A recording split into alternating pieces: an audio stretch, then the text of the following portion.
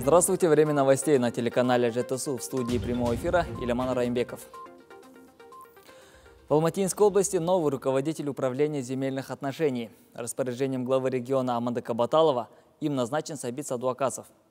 Новый руководитель родился в 1962 году. Окончил сельскохозяйственный институт Казахского ордена Трудового Красного Знамени по специальности агроном. Кандидат сельскохозяйственных наук. Трудовую деятельность начал заведующим лабораторией вегетационных и климатических кабинетов Казахского сельскохозяйственного института.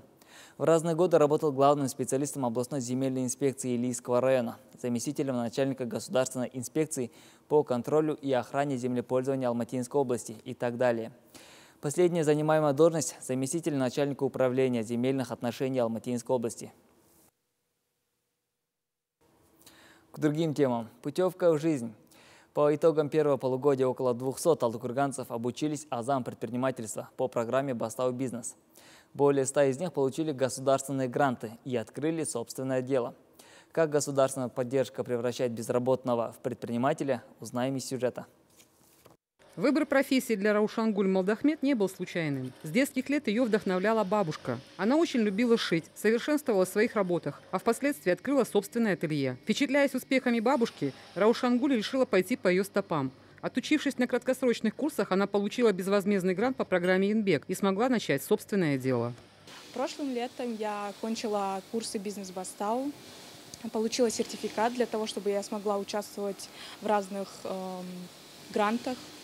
А, поучаствовала в гранте, где выдается 500 тысяч. Э, мне повезло, я выиграла, получила их.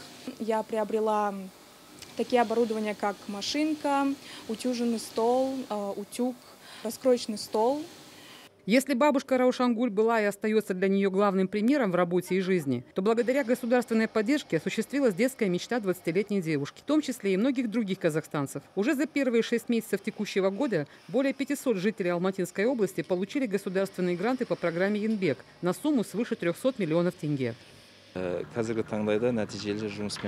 Нами ведется активная работа по трудоустройству и консультации безработных граждан. Содействуем в развитии бизнеса самозанятых лиц. В настоящее время 250 человек обучились на краткосрочных курсах по переподготовке. 64 из них уже собираются открывать свой бизнес. 200 граждан прошли онлайн-обучение в региональной палате предпринимателей Атамикен. Еще 60 заявок на рассмотрении.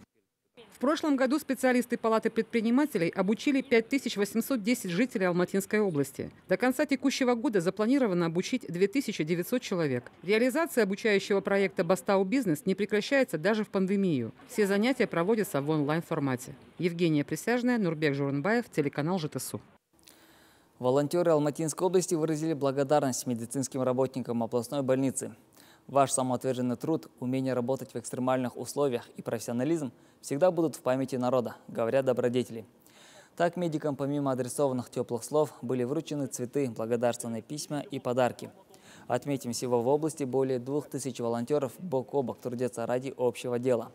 Развозят пациентам и медработникам продукты питания, средства индивидуальной защиты, всячески оказывая посильную помощь и тем самым оказывая моральную поддержку тем, кто, рискуя своей, спасает жизни и здоровье пациентов.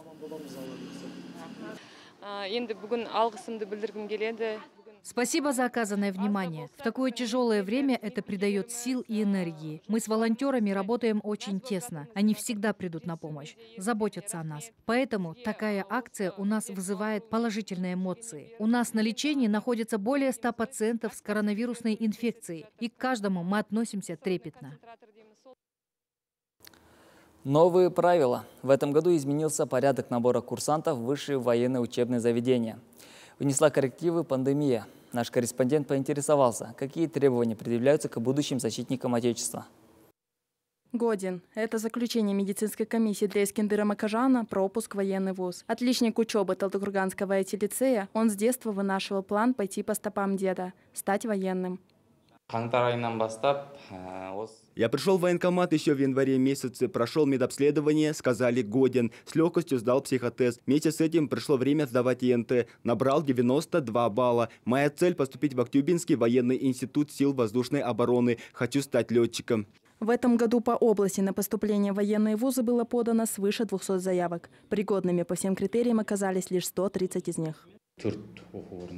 В нашем распоряжении четыре учебных учреждения, в которые мы можем отправить учиться курсантов. Это три института и кадетский корпус. Расположены они в городах Алматы и Актубе. Также это Алматинское военное учреждение радиотехники и связи. Желающим попасть в ряды вооруженных сил, как и раньше, необходимо пройти медобследование. Учитываются также результаты единого тестирования. Допустимый военный вуз порог не ниже 50 баллов. Существенное отличие нынешнего года – при поступлении физнормативы будущим курсантам сдавать не придется. Оценивать их физподготовку будут по аттестату. Адина Смогулова, Абылай Кутыкпай, телеканал ЖТСУ. Это была вся информация к этому часу. Спасибо за внимание. Встретимся в 21.30.